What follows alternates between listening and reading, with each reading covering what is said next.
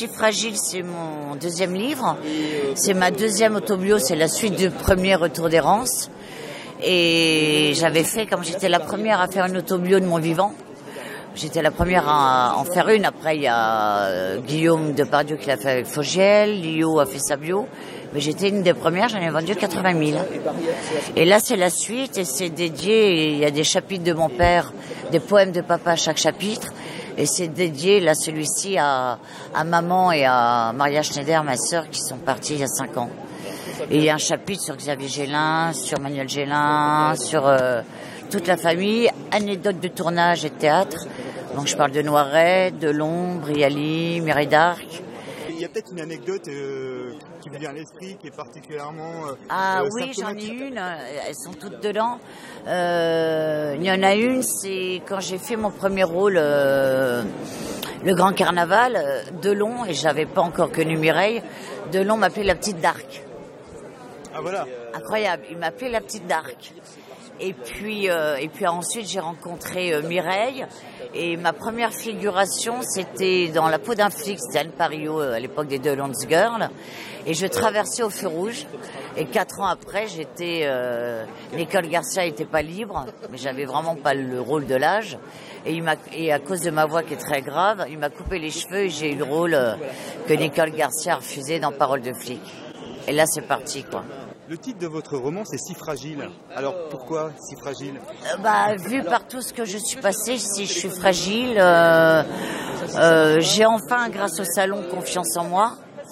Mais je suis quelqu'un de fragile, oui. C'est-à-dire, je suis même un peu une éponge. Et à, à l'époque, j'ai déprimé tout l'été dernier parce que Jean-Daniel Belfond voulait appeler le livre La survivante. Et il me l'a imposé. J'ai passé l'été dernier chez mon ami Echter à Saint-Tropez, mais vraiment un été de... J'ai fait une énorme déprime. Je suis rentrée à Paris, je lui ai dit Dèche pour Dèche, je sors pas de bouquin, on change de titre. Donc euh, je lui ai dit ça sera si fragile, parce qu'il y a une chanson très jolie, Attention fragile de Lavillier. Et il y a eu euh, l'album de dernier album de Mylène Farmer que j'adore, Fragile, donc j'ai rajouté si fragile. Mais ce livre, euh, j'ai eu de la chance, m'a rapporté un seul en scène. Donc euh, mi mi-septembre ou mi-octobre, je serai au théâtre avec euh, tout tiré du bouquin, mais c'est comique, je me moque de moi. D'accord.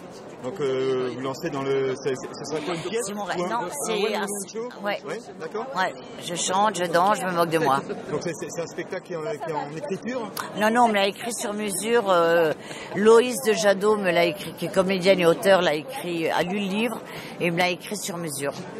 Et Sophie de Potter, une jeune, euh, jeune metteur en scène, fait la mise en scène. Apparemment, vous avez beaucoup de projets parce que Ouais, il j'ai était entendu, temps, hein. j'ai entendu parler d'un projet de festival de poésie.